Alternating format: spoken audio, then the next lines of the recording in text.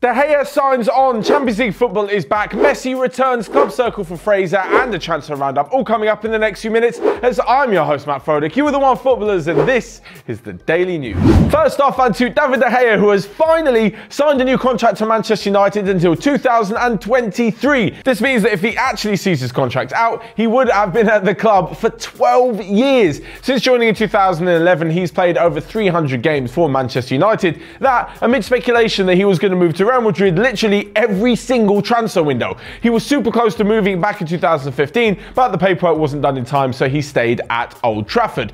In the past few seasons, Real Madrid have signed Thibaut Courtois, meaning that David De Gea really isn't actually needed at the Bernabeu. This also leads me into thinking that that's the whole reason why he signed a new deal with Manchester United. It's obvious he hasn't been happy at the club a few times, but it looks at the moment that he's finally realised he's not really going to get a move anywhere else. All the big clubs around Europe Europe have a fantastic goalkeeper already in place. So it looks like with Real Madrid having Courtois and bringing in Alphonse Areola, there isn't really a place for him. So he might as well stay put. Of course, we'll be hoping that Manchester United get back to the Champions League because that's where all top goalkeepers want to play. But I just don't think he can claim to be one of the top, maybe even top five in the world just at the moment. Don't get me wrong, he's still an unbelievable goalkeeper, and I think he really, really is up there, just maybe not up there with the best. The other school of thought alongside this is that Manchester United do actually still want to sell him, but by getting him to sign a new contract, it means they can sell him for a fair amount of money next summer rather than losing him on a free, but that's pretty obvious for any club. But mentioning the Champions League, and finally, finally, it is back. Well, the group stages are starting tonight anyway. Sorry for those of you who have watched the qualifiers.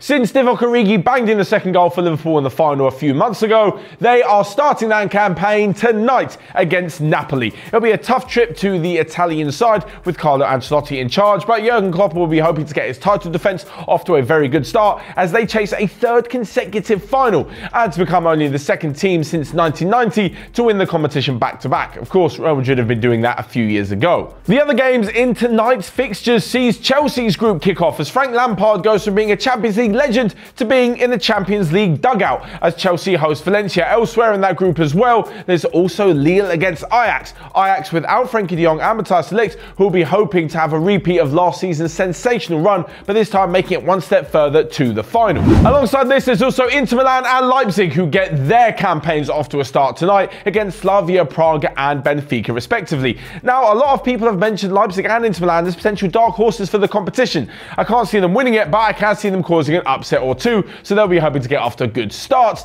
But the main game of tonight is at the Westfalenstadion in Germany as Dortmund host Barcelona. This is a Barcelona side who haven't started the season so well compared to Dortmund, who sit in second position. But they do have one key player back tonight, and that is Lionel Messi. Having last played a match for Argentina all the way back in July in the Copa America, he has missed the start of the season due to a calf injury. But finally, having trained on Monday, Messi is back in the squad. And what he's returned to is the fact that a 16 year old Ansu Fati is making all of the headlines. With two goals and assist in 116 minutes of La Liga football, I'm pretty sure he'll be getting his Champions League debut tonight, although it may be off the bench. When Messi's fitting in the squad, he definitely, definitely starts. Although Ernesto Valverde has been known to make a rather odd decision or two in his time at the Nou Camp. As for the result of the game, well, I can see Dortmund actually putting on a pretty strong performance, especially at home, and it could shock Barcelona, but I think they might, might just edge it, especially considering that Messi will be back, so I'm going to go for 2-1. But away for the Champions League for a minute, and Arsenal are one of the teams who are circling around Bournemouth's Ryan Fraser.